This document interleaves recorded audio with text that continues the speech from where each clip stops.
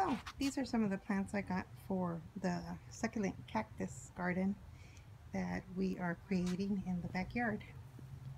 And we went ahead to, uh, we bought them at Home Depot.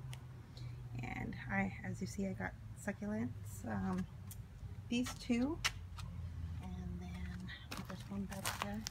It looks more like a cactus, but it was in the succulent area. Um, and actually those were a really good price. There were three for $12. And then these beautiful, beautiful cactus here were $17.98. And um, they're just awesome because this, it has two. And this one has two. So they're beautiful.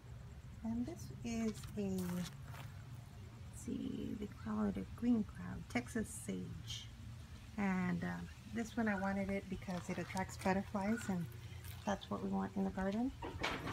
And this one here is a beautiful, also um, attracts butterflies.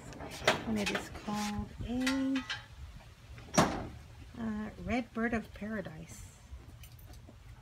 Um, and it's got a weird, weird Caesalpinia pulcherrima name. Mm-hmm. Which, which, uh, yeah.